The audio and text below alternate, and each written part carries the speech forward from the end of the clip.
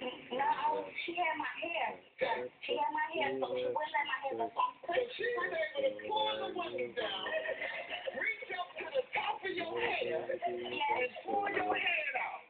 Yeah, but I'm not, she was pulling me forcefully, but I couldn't get away. By your hair. Yes, sir. All right, so once again, before you can do anything, Okay. she had pulled the window down.